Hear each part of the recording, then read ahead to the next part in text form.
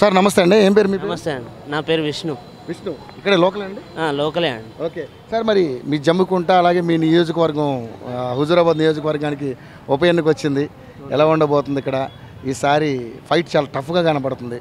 ఒక ఓటర్గా మీరు ఏమనుకుంటున్నారు ఎలా ఉంటుంది ఇక్కడ పరిస్థితి? అంటే నేను నా పీజీ కంప్లీట్ అయిందండి. ప్ర- ప్రైవేట్ లెక్చరర్గా జాబ్ చేస్తున్నా. లెవెన్ ఇయర్స్ నుంచి చేస్తున్నా.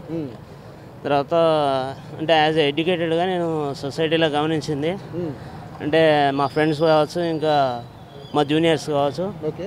అంటే జాబ్స్ పరంగా స్ట్రగుల్ అయ్యేది ఎక్కువ కనబడుతూ ఉంది. తర్వాత ఎలక్షన్ పేరు మీద ఈ ఈ ఖర్చు పెట్టే అమౌంట్ ఓకే. అనేది నేను గమనించినట్లయితే బాగా ఎక్స్పెన్సివ్గా ఖర్చు పెడతారు. బాగా ఖర్చు పెడతారు. అదే ఈ అంటే అన్ని వర్గాల ప్రజలను చూడాలి. ఒక్క సామాజిక వర్గాన్ని మాత్రం చూడడం అనేది నా దృష్టిలో మంచిగా అనిపిస్తలేదు. అట్లా నేను వ్యతిరేకంగా ఉన్నా. అట్లా. ఓకే తర్వాత ఇంకొక నాకు ఒక డౌట్ ఉన్నది. యాజ్ ఎ కామన్ మ్యాన్గా ఒక డౌట్ ఇప్పుడు ఈ టీఆర్ఎస్ ప్రభుత్వం ఏమంటుందంటే ఇన్ని సంవత్సరాల నుంచి ఈటల రాజేందర్ ఉన్నప్పుడు డెవలప్మెంట్ జరగలేదు అని చెప్తున్నది. ఈటల రాజేందర్ ఉన్నప్పుడు ఏం చేయలేదని బాగా ఒక బల్లగుద్దినట్టు చెప్తాంది. ఏది? టీఆర్ఎస్ పార్టీ ఈటల రాజేందర్ ఉన్నప్పుడు ఎటువంటి డెవలప్ చేయలేదు అనేది చాలా స్ట్రాంగ్గా ఏ మీటింగ్లో కానీ ఏ ప్రచారంలో అయినా చెప్తారు. మరి ఈటల రాజేందర్ ఉన్నది ఆ పార్టీలోనే కదా. టీఆర్ఎస్ పార్టీలోనే ఉన్నప్పుడే ఇటలాందర్ టీఆర్ఎస్ పార్టీలో ఉన్నప్పుడే డెవలప్ చేయలేదు. ఇప్పుడు మరి ఈ డెవలప్ కాని విషయంలో ఇటలాందరిది లోపమా టీఆర్ఎస్ పార్టీది లోపమా? మరి ఇటలాందరి లోపమే అనుకుందాం. అనుకున్నప్పుడు ఒక అభ్యర్థి మరి లోపం చేస్తున్నాడు నియోజకవర్గంలో అన్నప్పుడు పార్టీ గమనించాల్సిన అవసరం ఉంటుంది. మీరు అప్పుడు గమనించలేదు.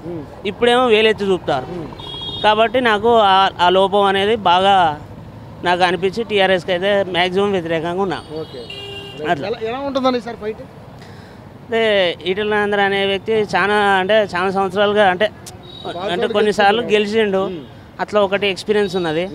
తర్వాత పలానా విలేజ్లో ఆ వ్యక్తి తెలియని అనేటువంటిది లేదు వాస్తవాన్ని ఆ వ్యక్తి తెలియని లేడు. తర్వాత మ్యాక్సిమం ఏమైనా ఏ ఫ్యామిలీ అనేది చూడడు. ఎటువంటి సందర్భం జరిగినా ఆ ఫ్యామిలీని విజిట్ చేయడం వాళ్ళతోటి పరామర్శించడం మాట్లాడడం చేస్తూ ఉంటాడు. అట్లా కొద్దిగా ఆ వ్యక్తికి ఎక్కువ పాజిటివ్ ఉన్నది అనేది నా ఒపీనియన్ అట్లా. సో ఇదైతే పాజిటివిటీ అనేది ఈటల రాజేంద్ర గారికి ఉపయోగపడుతుందా వంద శాతం ఉపయోగపడుతుంది అండి అయితే ఇంకోటి ఏంటంటే టీఆర్ఎస్ ధోరణి ఇప్పుడు ఈ ఎలక్షన్ పేరు మీదనే ఎక్కువ ఈ ఫీల్డ్ ఈ నియోజకవర్గం ఫోకస్ చేసినట్టు హండ్రెడ్ పర్సెంట్ అందరూ ఇప్పుడు నా చిన్నప్పటి నేను మా జమ్ముకుంటేనే నేను ఇన్నే పుట్టిన ఇన్నే పెరిగిన. నాకు ఇప్పుడు approximately thirty eight thirty eight years age నేను పుట్టిన కాంచలి చూడనటువంటి స్ట్రీట్లో రోడ్డు పడుతుంది ఇప్పుడు. నేను నేను పుట్టిన కాంచలి ఆ- ఆ స్ట్రీట్లో రోడ్ లేదు. సిమెంట్ రోడ్ లేదు. ఇప్పుడు రోడ్డు పడుతుంది. ఇది ఇటు అంతే హండ్రెడ్ పర్సెంట్. అంతే. అగో అట్లాంటి నేను గమనించిన జమ్మగుంట్ల వాతావరణం. మరి ఇప్పుడు ఇన్ని సంవత్సరాల నుంచి ఆ రోడ్ ఎందుకు కనబడలేదు? అనేది అట్లా నాకు అనిపిస్తుంది. టీఆర్ఎస్ పార్టీని తోటి మాత్రం హండ్రెడ్ పర్సెంట్ కరెక్ట్ లేదు. అయితే వాళ్ళు కొన్ని కొన్ని వర్గాలనే బాగా ఫోకస్ చేస్తారు. అట్లా కాదు. సరే ఓకే మీరు అలా అన్నారండి. నిజంగా మీరు మీరు మీ ముప్పై ఎనిమిది ఏళ్ళలో మీరు గమనించినని మీరు చెప్పారు. బట్ ఇప్పుడు ఆల్రెడీ గవర్నమెంట్ టీఆర్ఎస్దే ఉంది. ఈటల రాజేంద్ర గారు ఈ మూడు ఈ మూడు సంవత్సరాలు గెలిచినా ఏమైనా ఉపయోగం ఉంటుందా అనేది కొంతమంది వాదన. మరి ఒక ఓటర్గా మీరేమంటారు?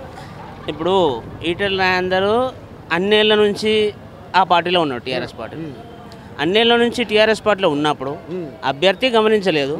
అభ్యర్థి ఏం డెవలప్మెంట్ చేయలేదు పార్టీ గమనిస్తలేదు ఇప్పుడు కొత్తగా వచ్చిన అభ్యర్థి అంటే అతని పైన వ్యతిరేకమని కాదు.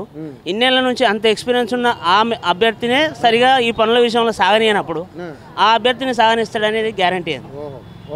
కదా అండి? ఇప్పుడు ఆరు సార్లు గెలిచిన అభ్యర్థికి ఎంతో సీనియారిటీ ఉంటుంది నియోజకవర్గం మీద పట్టు ఉంటుంది. అటు ఇప్పుడు పార్టీ అబ్జర్వ్ చేయాలి అత- అతని పట్ల అబ్జర్వ్ చేసి అతనికి సహకరించి నిధులు మంజూరు చేసి ఆ డెవలప్మెంట్కు సహకరించాలి. అంత సీనియారిటీ ఉన్న అభ్యర్థికే టీఆర్ఎస్ పార్టీ సహకరించినప్పుడు ఇప్పుడు కొత్తగా వచ్చిన ఆ అభ్యర్థికి సహకరిస్తారని గ్యారంటీ తర్వాత ఇలా సిద్దిపేట కాన్స్టిట్యున్సీ హరీష్ రావు ఉన్నాడు. అతను అతని యొక్క కాన్స్టిట్యూన్సీ మీద ఫోకస్ చేయకుండా ఈ మధ్యన ఎక్కువగా ఇతని గురించే మాట్లాడడం జరుగుతూ ఉంది. అట్లా నాకు కొద్దిగా క్లారిటీ లేదు. అట్లా. మొత్తానికైతే బయట పడతాడు ఈటల రాజేంద్ర అంటే అనుకుంటున్నా అంటే నా నమ్మకం అది. ఒక పర్సనల్ అంటే నా పర్సనల్ ఎక్స్పీరియన్స్ ఆయన అట్లా. అదే అట్లా నాకు పాజిటివ్ ఉన్నది అట్లా. పెద్ద మెజారిటీ రాకపోవచ్చు రాకపోవచ్చు. ఓకే. థ్యాంక్ యూ గురుగారు థ్యాంక్ యూ సో మచ్